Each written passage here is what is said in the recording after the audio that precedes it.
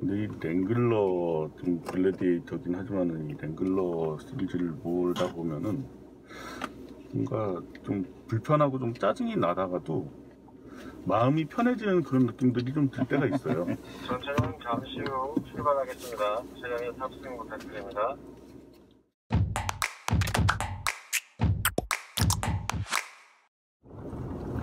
최근에 이제 픽업 트럭들을 여러 가지 좀 나와서 시승을 해봤었는데 포드 레인저는 아직 못 몰아봤지만은 이제 쉐보레 콜로라도 그리고 뭐 쌍용의 렉스턴 스포츠 칸까지 국내에서 판매되는 픽업들을 몰아봤었는데 그 차들과 비교를 하면은 뭔가 쌍용 렉스턴 스포츠 칸이 좀 유별난 포지션인 것 같아요. 음. 세팅도 그렇고. 걔는 걔가 어떻게 보면은 진짜 포터나 네. 우리 우리 흔히 얘기하는 포터나 봉고 3처럼 한국형 트럭으로 자리를 잡으면서 네. 한국형 픽업 트럭으로서 약간 좀 그러니까 형, 바디의 형태나 그런 거는 픽업은 맞는데 네. 이 글래디에이터나 뭐뭐 걔네들하고는 다르게 포드 레인저나 이런 애들이랑은 다르게 예. 미국산 그걸 오리지널이라고 할지 뭐 정통이라고 할지 모르겠지만 여하튼 그런 애들하고는 느낌 차이가 좀 많이 나더라고요. 그렇죠. 이 지금 몰고 있는 글래디에이터도 뭔가 좀 성격이 많이 좀 다르다는 느낌이 들어요. 렉스턴과 비교를 했을 네. 때에는. 그리고 또 하나는 얘는 어쨌든 지프 브랜드잖아요. 네. 그리고 우리나라에는 지프만 소개가 돼 있어서 랭글러랑 연속성을 갖는다라고 생각을 할 수도 있는데 네. 저는 되려 얘는 그 램 쪽에 그러니까 그 FCA 스텔란티스까지도 안 가도 되고 FCA 안에서 픽업 트럭을 전문으로 만들고 있는 램 네. 그러니까 예전에 다찌에서 있다가 이제 분리가 된 예, 예. 그램 픽업들하고가 되려 더 연관성이 많지 않을까 싶은 거예요. 네. 픽업은 원래 닷지에서 훨씬 더 많이 만들어졌으니까. 그렇죠. 어, 과거를 이제 돌이켜 보면은 뭐 지프 브랜드에서 픽업 트럭이 안 나왔던 건 아니지만 그래도 픽업 트럭 하면은 이 FCA 계열 브랜드에서는 램이 주도를 그리고 하는 그것도 심지어 한 10년 전으로 보면 그냥 닷지였었고 그렇죠. 닷지의 모델명으로서 램을 썼던 건데 네. 픽업 트럭 잘 팔려갖고선 돈 많이 버니까 브랜드를 분리했던 거 아니에요. 그렇죠. 그러고서 닷지를 애매하게 만들어 버리는. 예. 승용차와 SUV만 나오는 닷지 네. 뭔가 우리나라도 그게 사실은 닷지가 군용이라든가 그런 걸 트럭으로 쓰였던 게 있어서 네. 닷지 트럭 닷지 하면 트럭이거든요. 그렇죠. 사실은 쉐보레 콜로라도나 포드 레인저 같은 경우에는 미국 브랜드의 이름을 달고 나오긴 하지만은 이 뿌리를 거슬러 올라가면은 이 정통 미국식 픽업이라고는 얘기하기가 좀 그렇죠. 어렵잖아요. 포드만 해도 F150이고 예, 예. 정통은 이제 그 급을 가야 되는 거죠. 네. 쉐보레는 실버라도를 가야 되는 거고. 램도 1500으로 가야 되는 거고 네, 컴팩트 픽업 트럭들 같은 경우에는 뭐 쉐보레는 이수즈 쪽하고 음, 이제 닿아 있고 포드는 마쓰다 쪽하고 닿아 있는 그런 뿌리를 가지고 있는데 상대적으로 그에 비하면은 글래디에이터는 차급만 놓고 본다면은 콜로라도나 레인저와 비교를 할 수 있을 정도의 크기인데 실질적으로 혈통을 따지고 보면은 오히려 글래디에이터 쪽이 더 정통 미국식에 가까운 그런 차가 아닐까 싶은 생각이 그리고 듭니다. 얘가 코드명이 JT잖아요. 네, 이게 사실은 언제부터 있었냐면 어, 지금의 JL 랭글러의 전 세대인 JK 랭글러 네, 그 JK 랭글러에 픽업 트럭이 있었어요 맞습니다. 네. 그리고 그거는 이제 물론 two-door 픽업 트럭이었었고 어, 중동 지역에서 생산을 해서 그쪽에 이제 군납이라든가 네, 그런 특수 용도로만 사였던 JK 픽업이 있었거든요. 근데 걔도 걔도 코드명이 JK였었어요. 예, 그래서 그거를 우리나라에 갖고 올 수 있느냐 없느냐 갖고 와서 팔았으면 좋겠다. 이건 2인승이라서 팔리겠느냐 등등등등등 하면서 상품 기획을 한번 만들어 본 적이 있었거든요. 네, 그게 한 10, 한 3, 4년 됐어요. 네, 10, 한 2, 3년? 예, 2, 3년 됐겠네요. 그게 2인승 픽업이 만약 그때 갖고 왔었다 그러면 좀 얘기가 좀 달랐을 수도 있을 것 같아요. 그렇죠. 아무래도 소비자들의 어떤 수요의 폭이 상당히 좁았을 테니까요. 그렇죠. 랭글러만 해도 쇼보디만 나왔을 때와 호도 언리미티드가 나왔을 때의. 판매 차이가 엄청났잖아요. 예. 근데 사실 그거를 따져보면, 그러니까 그 흔히, 말, 흔히 말하는 대로 JK, JK 랭글러가. JK 랭글러가 2007년 서울 모터쇼 때 런칭을 했잖아요. 그리고 JK 랭글러를 런칭할 때 그 모터쇼 런칭 장소에서 제가 그 5도어 언리미티드 루비콘을 제가 몰고 나왔었거든요. 근데 그때 런칭을 할 때 루비콘 버전을 갖고 오자라고 우겼던 것도 저였었고 사실은 네. 그거를 갖고 와서 초반에는 쇼버디만 엄청나게 나갔었어요. 맞아. 네. 롱보디의 비중이 되려 더 낮았었어요. 근데 이게 브랜드가 알려지기 시작을 하면서부터 롱보디, 그러니까 얼리미티드가 팔리기 시작을 했고 네네. 그게 사실은 전체 브랜드의 위상을 끌어올리는데 굉장히 큰 역할을 했죠. 네.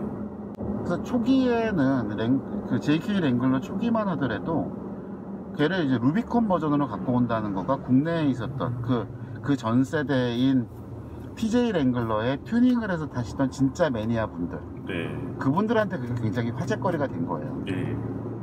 순정 랭 순정 JK 루비콘이 나오는데 그 가격이래. 어머 이거는 우리가 이전에 탔던 PJ를 3,800만 원 주고 사서 꾸미는 것보다도 싸네. 하는 것보다. 예. 이 결론이 그렇게 났었죠. 예.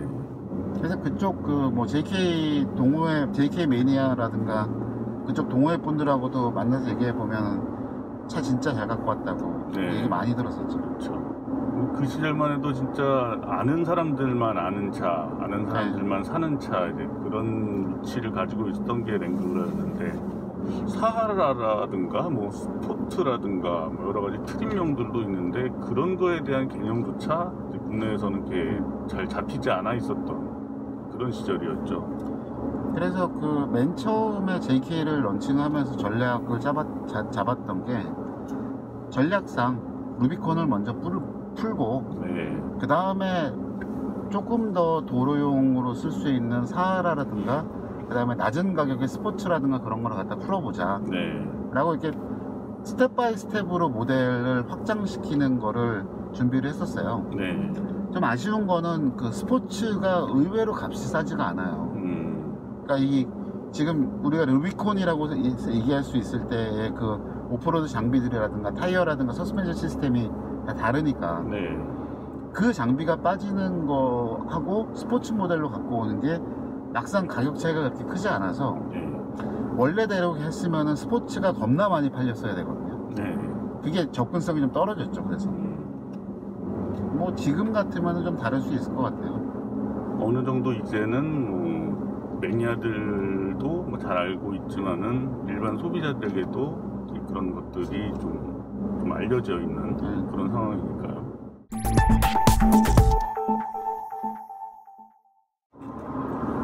어쨌든 이 다른 SUV 뭐 오프로더 전문이라고 하는 브랜드들과 비교를 했을 때에는 여전히 원초적인 분위기가 많이 나는 건 사실이죠. 그렇죠. 물론 과거에 정말 원초적이었던 시절과 비교를 해보면은 상당히 전자장비들도 많이 들어가 있고 편의 장비들도 보강이 돼 있어서 과거에 뭐 TJ, YJ 뭐 그런 거 사셨던 분들이 느끼기에는 상점벽해라고 생각을 하실 수도 있을 것 같은데요.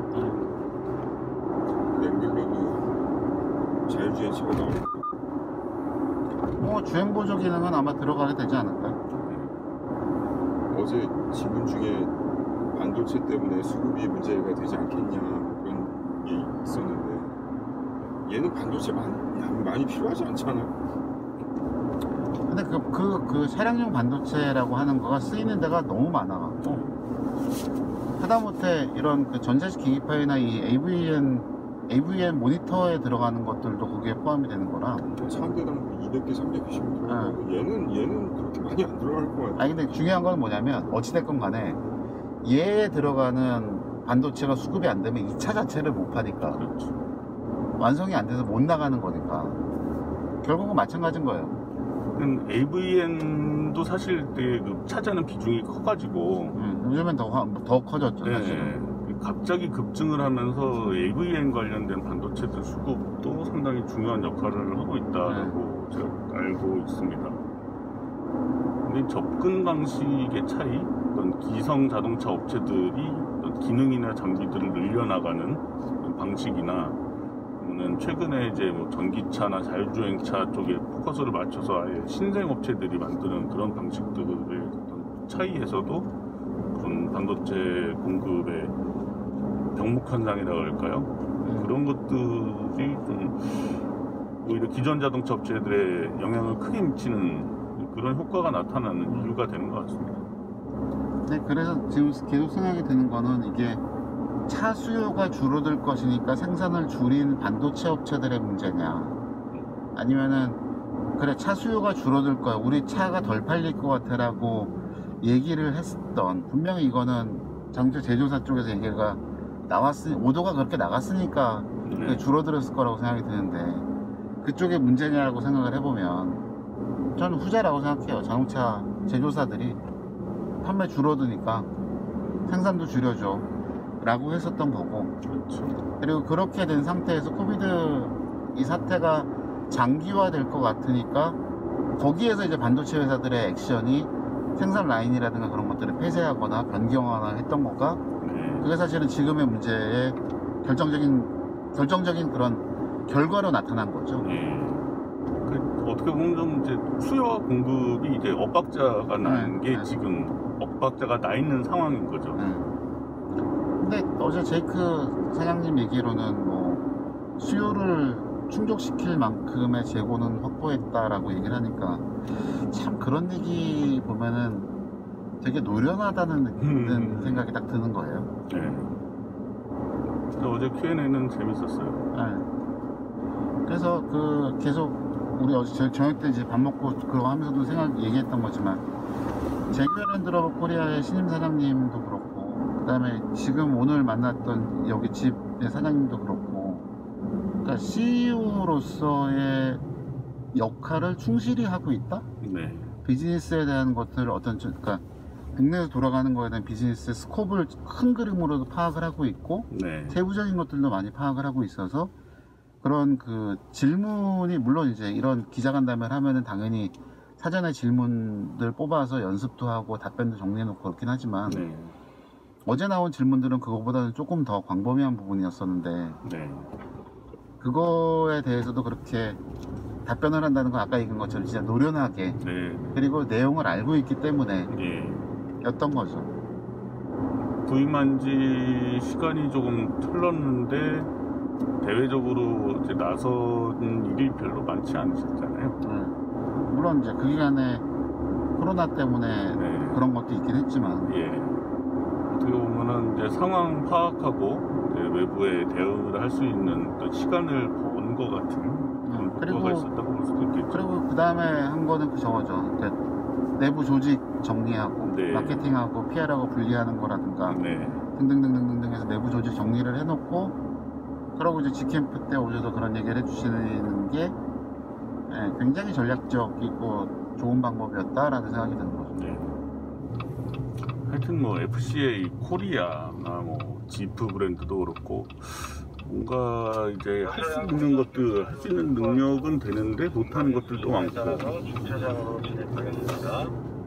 여러 가지 좀 아쉬운 면들이 많이 있었는데 예. 그런 부분들이 이제 새로운 사장님 오시면서 분위기가 좀 달라질 수도 있겠구나 그런 생각이 들어서 예. 좀 기대를 해보게 되는 그런 예, Q&A였습니다.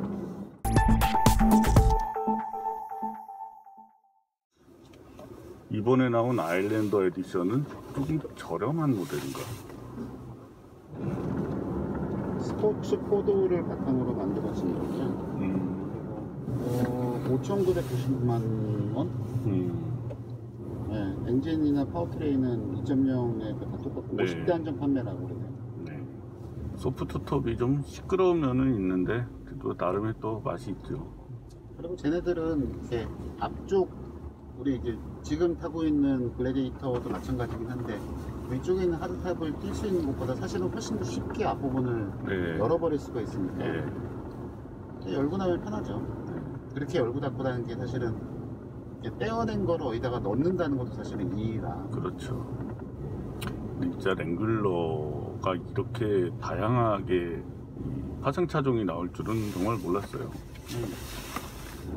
근데 원래 보면은 이런 식으로 그 special edition을 만드는 것 자체가 모델 라이프 사이클이 거의 끝나는 시점에 네, 끝나는 시점에 특별 버전들을 만들어서 판매를 좀 boom up하는 예, 그런 의미였었는데 그게 JK 랭글러 때까지만 해도 그랬거든요. 네, 그래서 뭐 모압 edition이니 뭐니 그런 거 나왔던 것도 어떻게 보면 약간 그런 개념이었었는데 네, 지금 JL 랭글러는 그냥 기본형에서 계속 파생 버전들이 나오고 예, 그걸 갖고선 계속 뭐랄까 이렇게 boom up을 한다? 네. 약간 그런 느낌이라 그 지프 브랜드에서도 랭글러가 어떻게 보면은 그 어떤 하나의 브랜드처럼 자리를 잡은 것 같아요. 예. 대신에 이제 다른 모델들과의 동떨어진 느낌은 더 강해진 것 같고요. 그냥 랭글러를 뺀 나머지 네, 그나마 글라디에이터가 있어서 다행인가 싶기도 한데 이렇게 보면 글라디에이터는 랭글러 그룹 안에 속하려나? 그러니까 미국에서 글래디에이터 시승할 때 그 양반들이 한 얘기가 글래디에이터는 랭글러 파생이 절대 아니라고 그랬어요. 예. 그리고 더 프리미엄 상위 모델이라고 얘기하더라고요. 분리를 하고 싶겠죠. 집에서 얘기하는 프리미엄이라는 건 어떤 걸 얘기를 하는 걸까요? 그냥 실내나 뭐 이런 거 봐서는 이렇게 막 프리미엄이다라는 느낌이 확 와닿진 않는데 비싼 거? 비싼 거. 미국은 좀 그런 게 있는 것 같아요. 비싸면 럭셔리, 비싸면 프리미엄. 그 미국에서는 그 글래디에이터가 루비콘 모델만 나오잖아요. 그래서 음, 아니 왜 스포츠는 안 만드냐 만들 생각이 아직까지 전혀 없다고 그랬어요 2년 음. 전에 그것도 프리미엄 전략이라고 얘기를 할 수가 있겠죠. 그렇겠네. 소행 부탁드립니다. 얘를 사서 미국 같은 경우에는 픽업을 산다는 거는 이제 복합적이잖아요. 업무용을 포함한 막 쓰는 차의 개념이니까. 그런 게 없이 루비콘만 한다 그러면 기본형을 사서 그렇게 막 쓰는 것들을 막겠다는 얘기도 되고. 네. 그 뭐랄까 그 미국에서 했던 그 느낌은 이 차를 짐차로서 생각하는 게 아니라 아웃도어를 확장시키는 그런 모델이라는 개념으로 얘기를 하더라고요.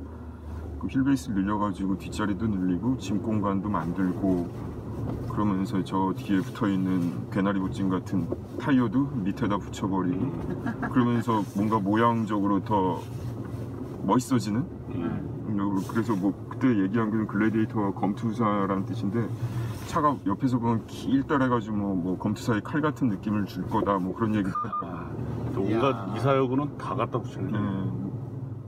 근데 저 타이어가 밑으로 들어가면서 모양이 더 예뻐지긴 했어요 네. 근데 개인적으로는 그 트럭 bed가 길잖아요, 이게 은근히. 그리고 각이 져 있어갖고. 난 거기가 되려 더 밋밋하게 느껴져서 음, 만약 내가 글래디에이터를 탄다 그러면 그 뒤에다가 스페어 타이어 달 것 같은데. 그리고 그 모파에서 튜닝한 모델들이 있는데 휠베이스를 줄여가지고 타이어를 지붕에 얹거나 음, 레드 위에다 얹거나 그런 모델들도 있었고요 음, 그게 한 여섯 종인가 거길 전시를 했었는데 그게 더 예쁘더라고요. 그 뒤에 요, 요, 그, 요 실내 바로 뒤에다가 붙여놓으면 그거 예쁘거든. 네. 근데 짐 공간으로서의 공간이 너무 많이 잡아먹으니까 이게 지붕에 얹기도 하고, 사실은 저 후드에 얹기도 하고. 음. 예전에 탔던 그 시리즈 랜드로버가 네. 그게 후드에 스페어 타이어를 스페어를. 얹게 돼 있었죠. 그건 뭐 랭글러만 해도 뒤에 저 tailgate에다가 스페어 타이어를 다는 게 다른 데다가 달 데가 없어서 저기다 다는 것도 있- 있으니까 네 맞아요. 네. 글래디에이터 같은 경우에는 뭐 overhang 충분하니까 아래쪽에다가 달아도 괜찮은 그런 구조가 된 거고요.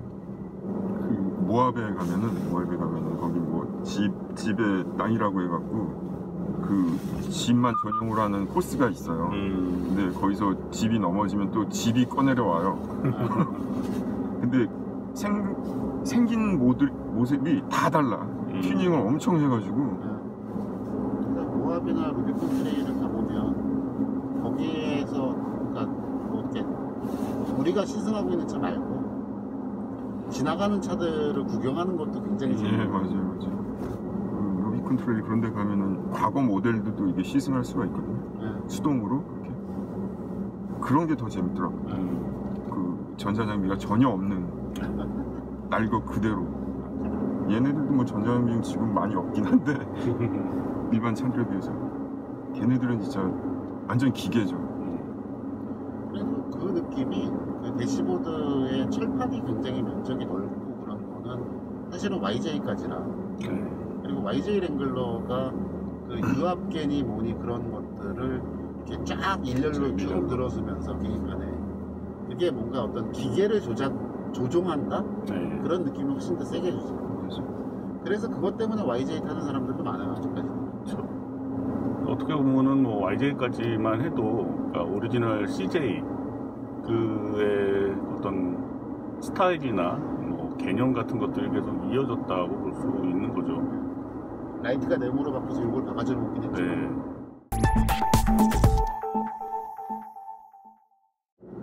이 Jeep은 탈 때마다 이렇게 되게 불편한데 타고 나서 집에 가면 또 타고 싶어요 네, 맞아요. 그런 게 있어. 근데 중요한 건 그거잖아요. 그래서 사고 싶냐는 거지 내 차로 갖고 있는. 거지. 예전에는 사고 싶긴 했었는데 뭐 second car, third car라면 하나 주- 사겠지만 그럴 경제적 여건이 안 되니까 뭔가 이건 차라기보다는 낭만? 로망?